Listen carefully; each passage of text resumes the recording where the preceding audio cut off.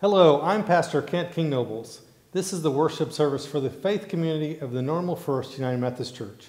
We are so glad that you are here for worship. During the service today, I want to talk some about this holiday called Juneteenth. And I want to ask why it is that sometimes good news arrives so late and what we can do about that. I'm looking forward to sharing that with you.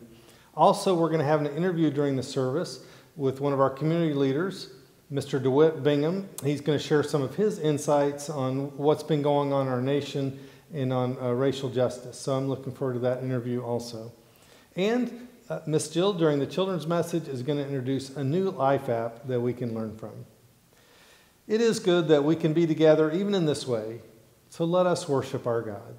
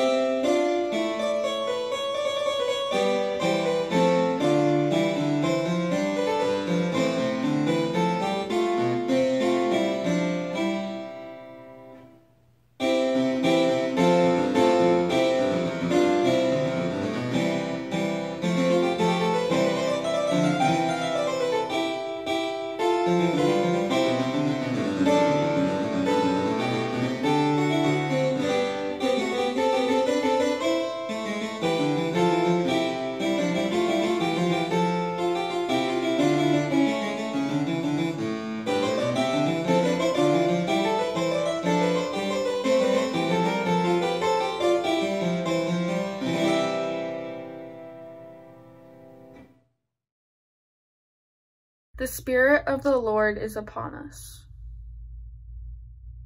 anointing us to bring good news, to proclaim favor, to provide. The day of the Lord is coming. Okay, kids, I'm ready to learn more about faith. How about you?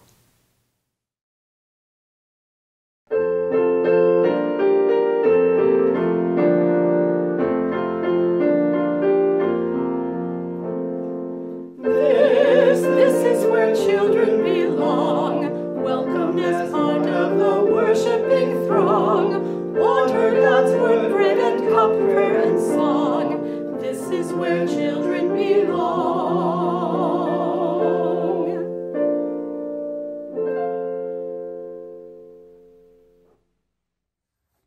Hi, everyone. It's Miss Jill. It's another great day here at the McNiff House slash studio, and I am so excited that you are uh, here as we continue to focus on our life app on faith. Now, faith is trusting in what you can't see because of what you can see. It's kind of like the wind right? Think about a windy day. We can feel the wind on our face.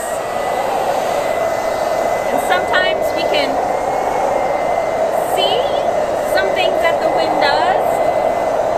We can definitely hear it. But we can't see what's making all of that happen. But we know it's there. It's just like faith.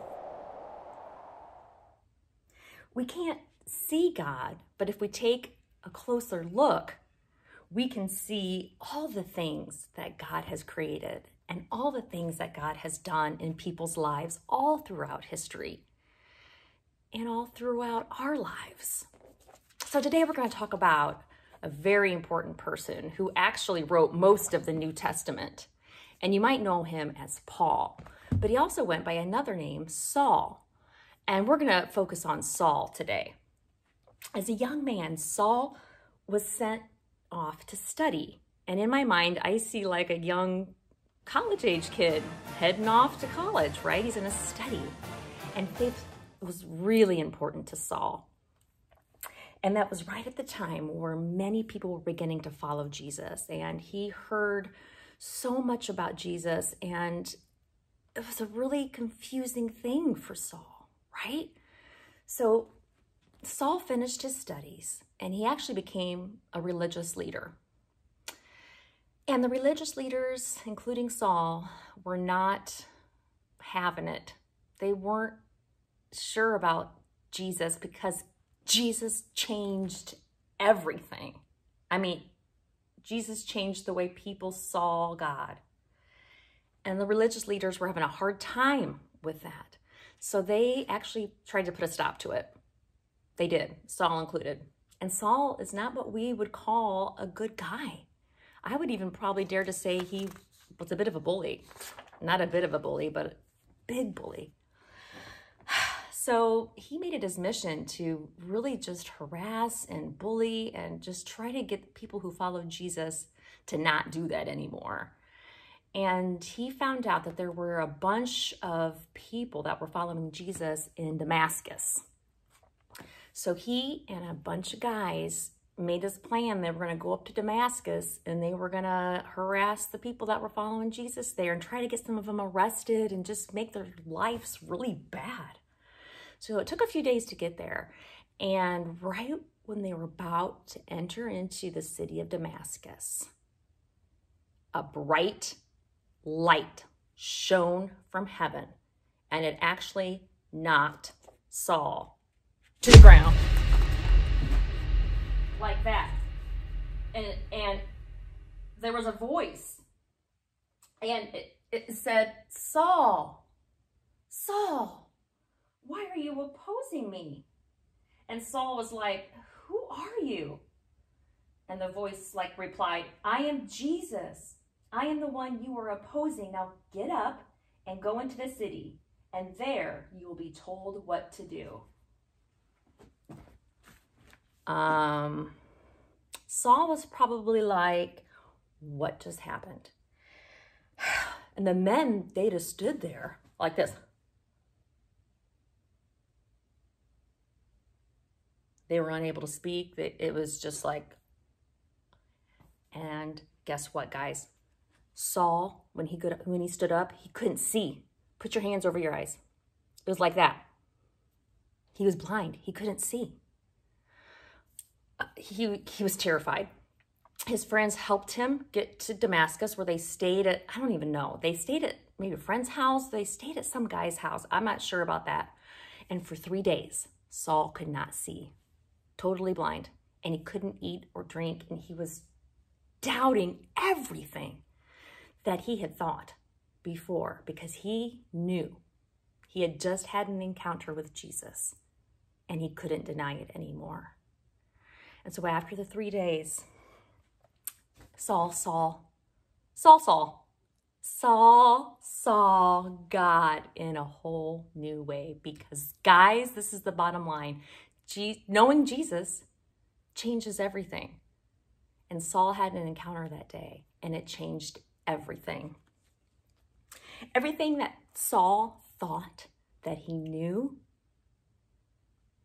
was changed forever and his life was never the same again. Now, God might not show up in our lives like a big flash of light like he did for Saul, but there are lots of times when God shows up in our lives in other ways, only to show us something new like he did for Saul. Maybe it's out in nature, right? So many times when I'm outside and I'm just in awe of God's creation or maybe it's a song that you hear. There's so many beautiful songs that just could really pull us closer, and God can talk to us through music. Other people, God will put people in your life that will show you something new about God.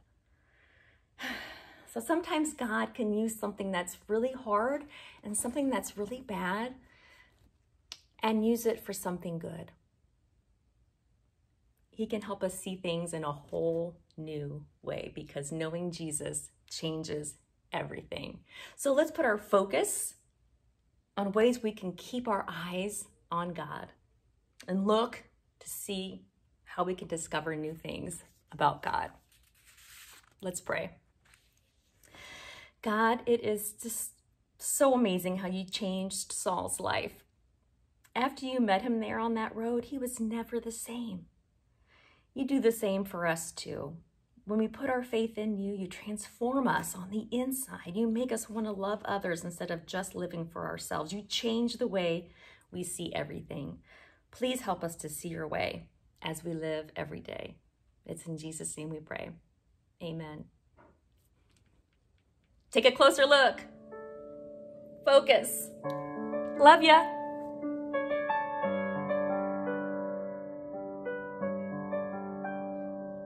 Hello, everyone. I am here with Mr. DeWitt Bingham. Um, DeWitt, thank you so much for coming over, joining us. Um, I've enjoyed getting to meet you already and look forward to, to being a friend of yours. Um, but I really appreciate your time coming over to help us and share some insights. Um, just a little bit about you. So, you're assistant pastor at your church? That's correct. I go to Integrity Deliverance Ministry uh, where the pastor is Joseph and Vicki Brown. Okay. And I've been a member there since 1987. I accepted Christ uh, on the campus of ISU, actually, and I've been a Christian for about 35 years, and I've been preaching for about 25 years. Great. And in addition to that, you're a professor? That's correct. I actually uh, have a bachelor's and master's degree in criminal justice. My master's degree is from this wonderful institution right next Great, door. yep. And I actually have been a criminal justice practitioner for 33 years, and I actually uh, am a probation officer, and I professor at Heartland Community College. Great. And you're also an author, and you're kind enough to bring me your books, uh, the Douglas, Gift from me, Pastor Kent. the Douglas Connection here um, by DeWitt Bingham. Also, Viola Liuzzo, a story about her and civil rights movement. And then Hope Deferred Makes the Heart Sick, but when the desire comes, it is a tree of life. So three books that you have published, so we'll, I'll look forward to reading those. Thank you very much. You're very much welcome. Thank you. So, what we're doing with the congregation, we want to get some some uh, many voices to our congregation. We're That's calling this calling this a season of learning and listening. Okay. Um, and so we want to listen and maybe hear some things that we don't hear every day, or from people that we don't get to, to hear from every day. So, so thank you for being one of those people. So I want to just jump right in. Um, on Memorial Day, um, we saw a terrible death. Mr. George Floyd um, was killed while he was in police custody. How has that affected you? How did you experience that? Well, as an African American, it was very hurtful to see that happen. Um, but it's been something that I've actually seen before. And so uh, I was hoping that they actually would arrest the officers right away uh, because to me it was pretty obvious that actually they were in violation in, in terms of uh, the actual offense that was committed against him. Um, but in terms of, you know, it, it kind of makes you upset and, and angry about it. But before I'm a probation officer, before I'm a professor, before even I'm African American, I'm a Christian. Yeah. And so I, I have to be able to maintain, you know, a Christ-like attitude about things. But it does get you upset, you know, when it seems as though that type of attitude and that those types of incidents only occur uh, towards African American men. Yeah, that's a, that's a good question. What does it mean to be Christ like? I think a lot of us are asking that. You know, how would Christ respond? Um, so maybe some, since you are a pastor, what, what's your thought? How would Christ respond when um, Christ experienced something like Mr. Uh, George Floyd's death? I, I think it's okay to actually speak out against it uh, because right is right and wrong is wrong. And so I think Christ would actually take a stand against what is actually what actually occurred. My main experience in terms of what I would consider to be race is uh, has to do primarily with employment, which is a big thing that uh, African Americans deal with uh, in terms of in- increasing their, their wealth. Uh, we built the country or helped build the country for 400 years, but in terms of family net worth, Yeah. it's 17,000 for African Americans and 170,000 for whites. And so, in terms of uh, my personal experience with racism, when I got to the department 33 years ago, I had a master's degree, and since then, 33 years of experience. But there, right, there was a time when I was only the sec, uh, only two, second person that had a master's degree, and when I applied for management positions, I had worked different positions and had more experience, twice the education, but didn't get promoted. And so, in terms of you know racism for me, that's where I, I believe this is just me that I've experienced it the most is um, uh, in the workforce. What I would like to see there's a few things I would like to see. I just have this belief that the chokehold, and I've seen it. I've heard a couple of departments are now going to do away with that. but why do you need to actually have somebody, or your knee on somebody's neck and are choking them when they're in handcuffs? You and I could probably write that law in like five minutes. So it'd be nice to see that. It, it also would be nice to see what I call uh, race officer uh, equality or equalization. For example, if you have 50 officers on a police force, then and, and 10% of your population is black, like here in Bloomington, then why not have at least 10% represent the police force? So Bloomington, for example, has 100 police officers. In my view, you should at least have 10 African American officers because Bloomington Normal has 10% black population. And I've always said my hope in this lifetime is to actually see a judge on the 11th Judicial Circuit uh, sit on the bench of the 11th Judicial Circuit because we haven't had one. But that that's just a few things that I'd like to see, you know, come out of that. Bloomington Normal actually is doing a, really good job in terms of uh, they established a you know community review board. Right? Yeah, it's a good And- thing. yeah, and and so I really believe that we have good chiefs, we have great judges. Okay. Anything else that you would like to say to our congregation? Um, any other thoughts or words of advice or? No, I, I would just say, you know, uh, just try to actually, uh, I would say, be sensitive to what's going on, you know, at this particular time, and you know, uh, just show love towards your brother. You know, like I like I always try to say before I'm anything else, I'm a Christian. So, you know, if you say you're a Christian, I'm going to sit back and I'm going to look and I'm going to watch to see if your behavior reflects that. Right. And and and as you very well know, that's really what's going to make the difference if you actually are showing love towards. Right. Yeah. Well, DeWitt, it's it's been a pleasure. I wish I could shake you. your hand. I, I wish I could too. yeah, that, that's why we're sitting so far apart, you know, because of the social distancing. Um, but uh, anyway, it's we really do appreciate you coming.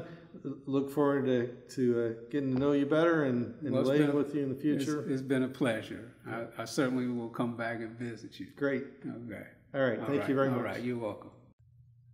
Please join in singing We Are Called.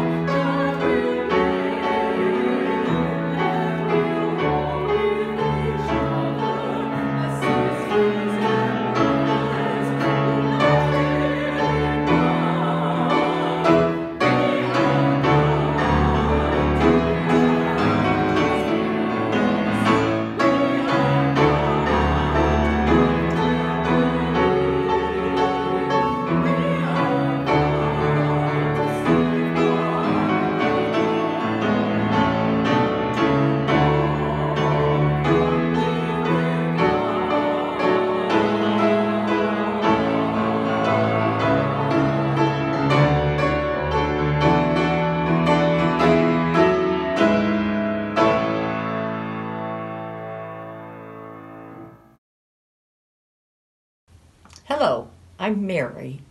It's a privilege to read the scripture this morning, which is from Luke chapter 4, verses 18 and 19 from the English Standard Version. The Spirit of the Lord is upon me because God has anointed me to proclaim good news to the poor. God has sent me to proclaim liberty to the captives and recovering of sight to the blind, to set at liberty those who are oppressed, to proclaim the year of the Lord's favor. You can probably say these words with me. We hold these truths to be self evident that all men, that all people are created equal, that they are endowed by their Creator with certain unalienable rights, that among these are life, liberty, and the pursuit of happiness. The Declaration of Independence goes on to say that this is really the purpose of government is to secure these rights for people. Uh, there is something in each of us that longs for liberty, for freedom. Actually, if you've ever had a time when your liberty was taken away from you, when you didn't have freedom, you know how precious freedom is. Can you think of a time when you were not free for whatever reason? Think about a time when, when a weight was finally lifted off your chest, or when you finally could fill your lungs with air again and breathe what a good feeling that is. Or a time when finally you're able to, to move your arms and legs and let the blood begin to flow again and not be restrained and restricted. Oh, freedom. I think we all long for freedom because we were born to long for freedom. This week on June 19th, we have the opportunity to celebrate a holiday. It's the holiday of Juneteenth. Are you familiar with Juneteenth? A senator from Illinois, one time, a man named Barack Obama, tried to get this passed in a Senate bill as a national holiday. Still hadn't passed, but it is a state holiday in 47 of our states, including Illinois. So, what is Juneteenth? What's Juneteenth about? On June 19th, 1865, two months after General Robert E. Lee surrendered at the courthouse in Appomattox, Virginia.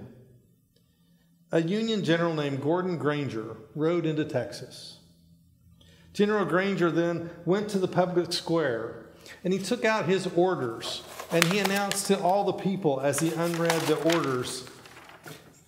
In part, he said this The people of Texas are informed that in accordance with the proclamation from the Executive of the United States, all slaves are free. All slaves are free. What a great thing. Freedom. I mean, just think about what it meant to live as a slave and then to hear these words all slaves are free. Juneteenth, which is short for June 19th, is a holiday commemorating this day, which marked the effective end of slavery here in the United States. Now, if you'll know, if you know your history, you'll remember that it was two and a half years earlier, on January 1st, 1863, that the initial Emancipation Proclamation was announced by President Abraham Lincoln. Right. So, why are we celebrating the end of slavery two and a half years later, as General Granger rides into Texas?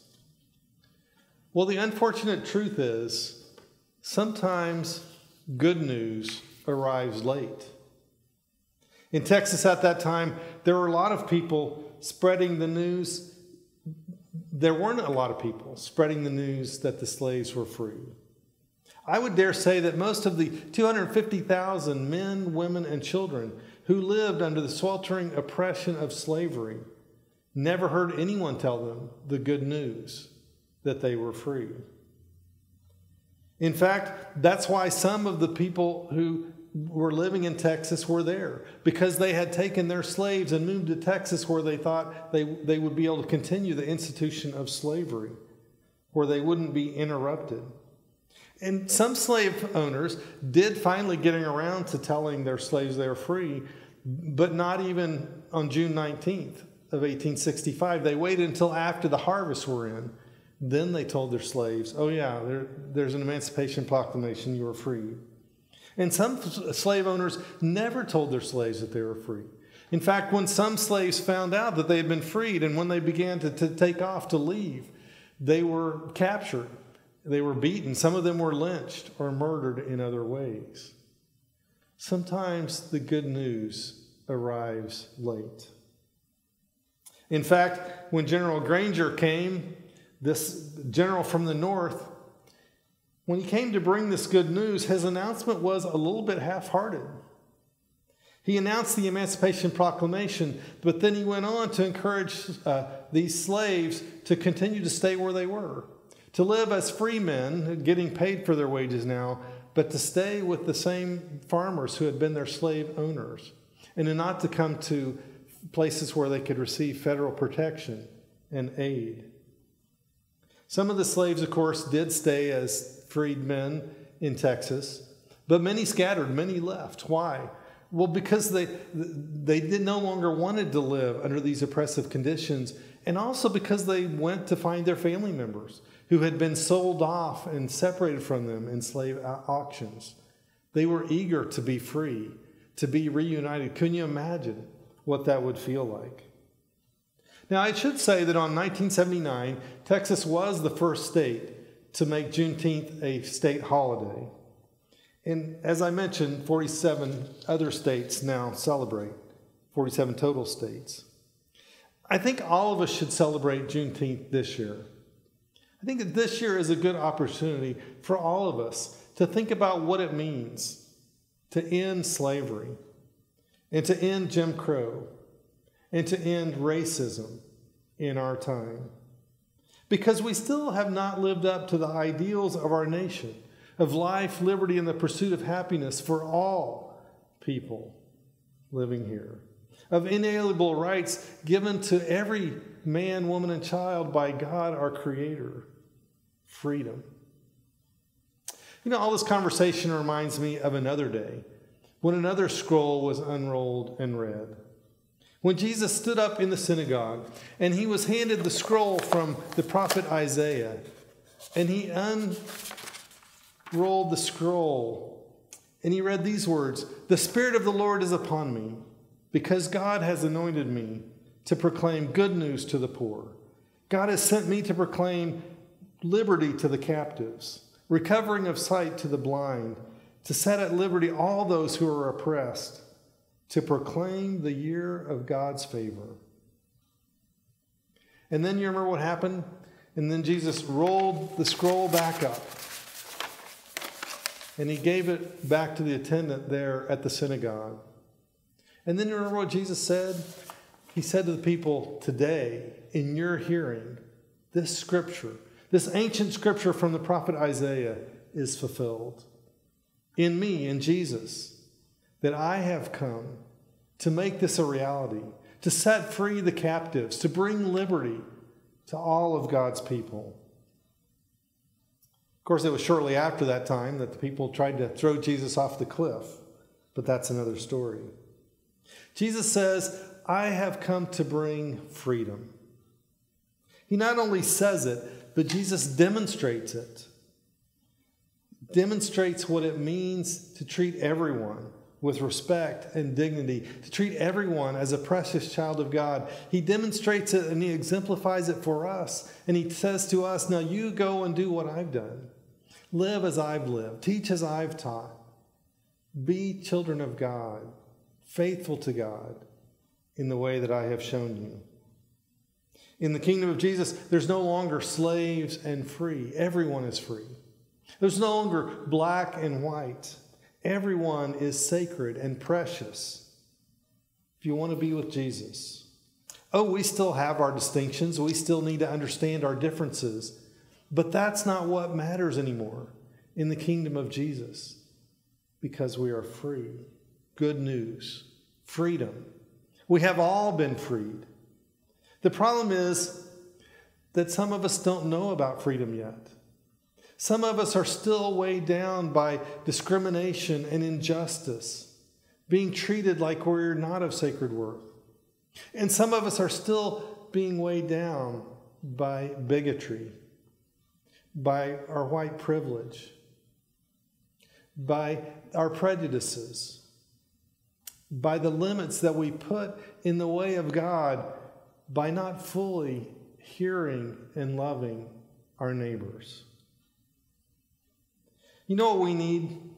We need some people to saddle up and ride out and announce that the good news has come, to announce the emancipation, to announce liberty, to call for freedom, to say that all this slavery and, and, and racial injustice has come to an end.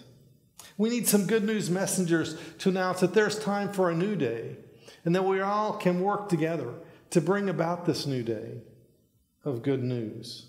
We need some followers of Jesus Christ to live like Jesus teaches us to live and to live like Jesus shows us how to live boldly, We need to spread the good news. We need to live the good news. We need to be the good news in our communities, in our families, in our society.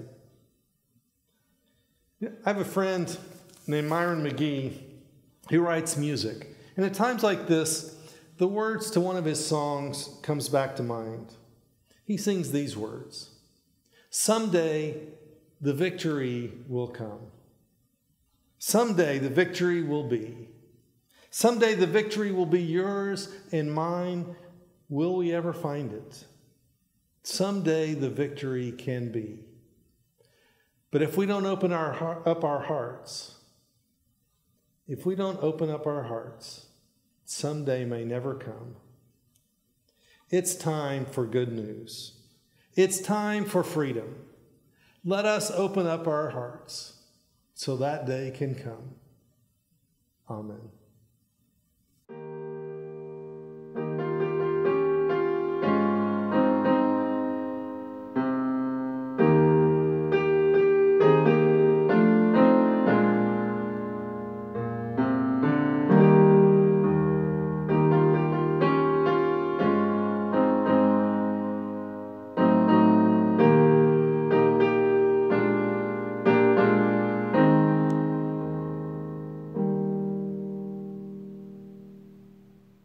As we join our hearts together in prayer today, I invite you to think especially about the words that we're praying as we pray the Lord's Prayer.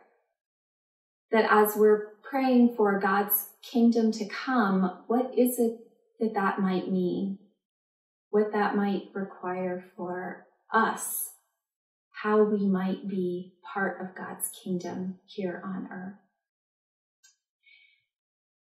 I will invite you to take a moment of silence to center yourself before God. And then I, the prayer that I'm using today is one that is um, adapted by uh, Mennonite pastor Mark Schloneger. And so I give thanks to him for, for the, his words. Let's pray.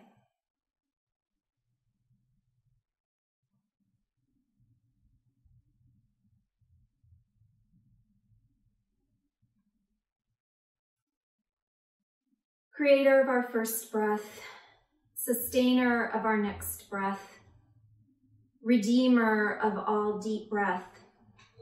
We remember those who are finding it hard to breathe.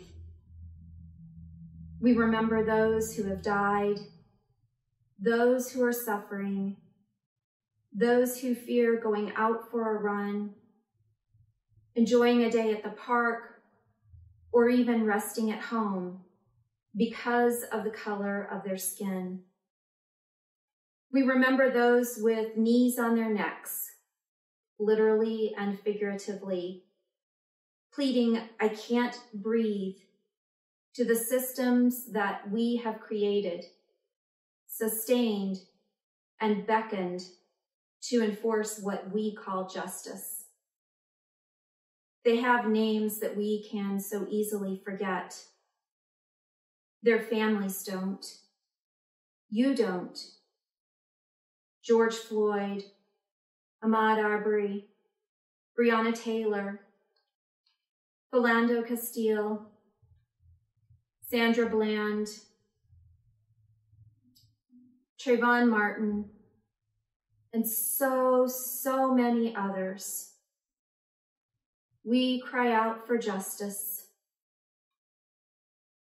have mercy, O Lord. Comfort family and friends who continue to grieve.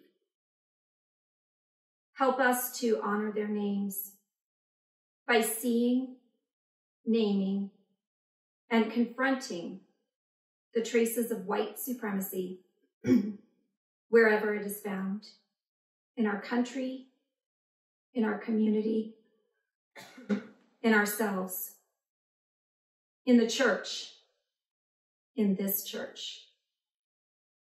Creator of our first breath, sustainer of our next breath, redeemer of all deep breath, we confess that we feel so helpless, so powerless, so hopeless to do anything about the racism that runs so deep, extends so high, has gone on for so long that too many of us, too often, sigh the sigh of the privileged, lamenting injustice, but moving on, carrying on, holding on.